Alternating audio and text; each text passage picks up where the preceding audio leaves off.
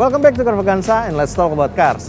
Memanfaatkan momen Indonesia International Motor Show 2022, PT Sokonindo Automobil memperkenalkan DFSK Ceres SF5. Apa itu?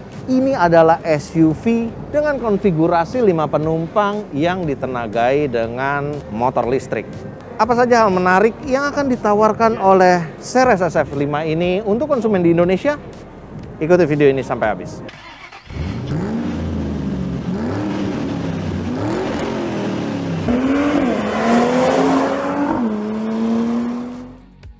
PT Sokonindo Automobil belum resmi menjual DFSK Ceres SF5 ini untuk pasar Indonesia. Mereka mengklaim saat ini mereka tengah melakukan studi dan pengujian terhadap Ceres SF5 ini agar cocok untuk dikendarai oleh konsumen di Indonesia. Tapi hal menarik yang bisa kita lihat dari Ceres SF5 ini adalah desain SUV yang cukup futuristik dengan uh, tampilan yang sangat dinamis mulai dari desain lampunya yang sudah dibekali dengan teknologi LED dengan uh, lampu siang hari yang berdesain uh, menarik ya, dinamis. PT Sokonindo Automobil secara resmi belum menjual atau memasarkan Ceres SF5 ini untuk pasar Indonesia. Mereka mengklaim masih melakukan studi dan uh, sedikit penyesuaian terhadap konsumen Indonesia bagaimana Ceres SF5 ini cocok untuk seluruh konsumen di Indonesia. Tapi yang bisa kita lihat dari Ceres SF5 ini adalah desain menarik yang cukup dinamis. Kita bisa lihat dari desain lampunya yang sudah didukung dengan LED serta desain lampu uh, siang hari yang juga uh, mengesankan seperti uh, ada uh, air intake atau lubang udara di bagian bumper depannya. Kemudian karena ini bukanlah sebuah mobil dengan uh, mesin pembakaran, jadi dia tidak perlu grill yang besar, namun dia masih menyematkan lubang-lubang untuk mengalirkan udara dari depan mobil.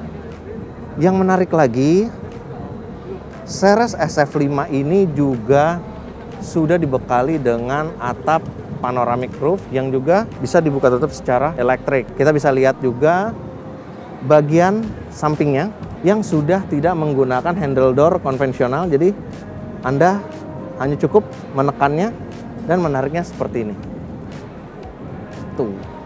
Selanjutnya pada bagian belakang dari Ceres SF5 ini juga sedikit melandai, jadi tidak mengesankan seperti sebuah SUV yang kental, tapi terlihat seperti crossover yang lebih uh, dinamis dan urban.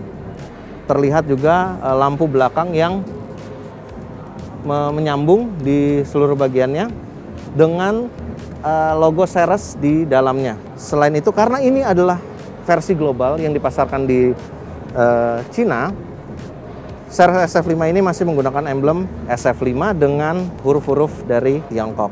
Sekarang kita bisa lihat ke bagian dalamnya.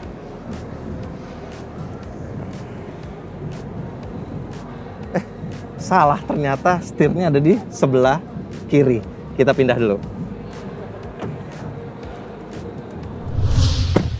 Ah, karena ini adalah versi global yang belum dipasarkan di Indonesia, jadi Ceres SF5 ini masih menggunakan konfigurasi setir kiri yang juga diikuti dengan seluruh pengaturan yang ada di sebelah kiri. Tadi saya sempat salah masuk, jadi terbiasa dengan mobil-mobil yang dipasarkan di Indonesia yang ada di sebelah kanan. Dan menariknya dari interior Ceres SF5 ini didominasi dengan warna two-tone, merah pada bagian seluruh joknya dan hitam di bagian dashboard serta lingkar kemudi dan atapnya. Tentu saja Ceres SF5 ini menggunakan material-material premium.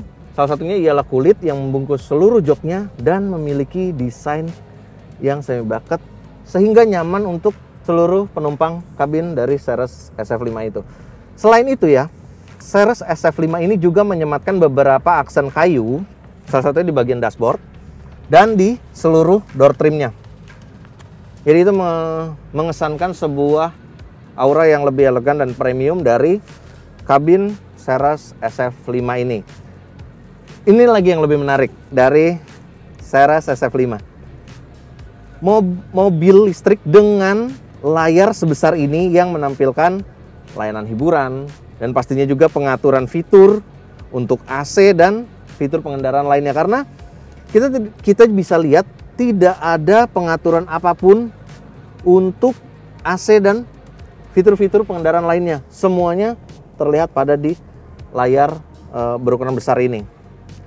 Dan Ceres SF5 ini mengusung konfigurasi 5 penumpang yang cukup nyaman dengan dukungan-dukungan e, fitur yang tentu saja menarik. Namun DFSK Ceres SF5 ini belum resmi dipasarkan di Indonesia. Nantinya PT Sokon Indo Otomobil akan memberikan Ceres SF5 dengan fitur-fitur dan teknologi-teknologi yang sesuai dengan pasar atau konsumen di Indonesia. Selain itu, layanan hiburan di Ceres SF5 ini juga sudah didukung dengan Huawei Intelligence Car yang memiliki pemetaan dengan smartphone serupa seperti uh, CarPlay. Sehingga dengan konektivitas tersebut tidak uh, terganggu dengan uh, jaringan dari teknologi atau fitur-fitur lain yang ada di Ceres SF5 ini.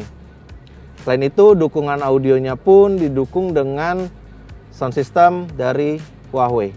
Selain itu, Ceres SF5 ini didukung dengan teknologi high performance dual electric motor yang menghasilkan tenaga maksimal 341 horsepower pada roda depan dan 200 horsepower pada roda belakangnya.